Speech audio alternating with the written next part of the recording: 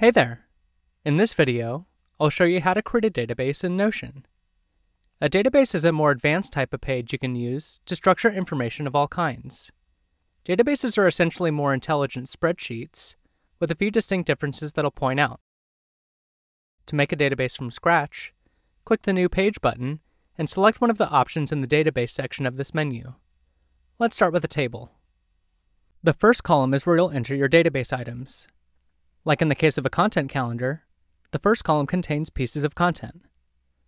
Each column in the table corresponds to a property of that item. Think of each property as a piece of information, like tags that describe the item. In this case, we'll use a tag to indicate which social channel we're using, a deadline, which we'll add by changing this file property to a date property,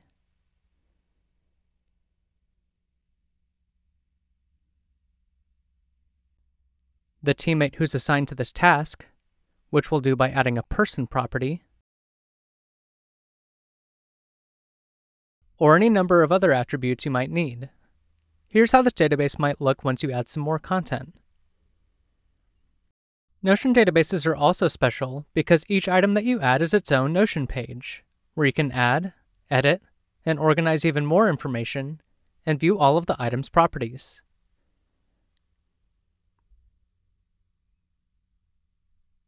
You can also view your data in different ways so you can see it in the format that's most helpful to you. For example, you can turn your table into a calendar.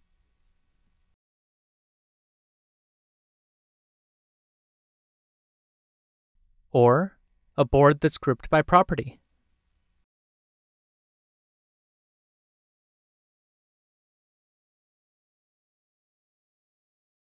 Now that you've created a database, you can keep it in your sidebar as a top level page, or you can move it inside a regular page to create a subpage link.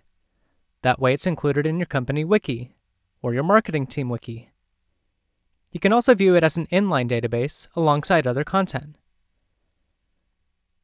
To turn an inline database back into a full page database, just drag into your sidebar.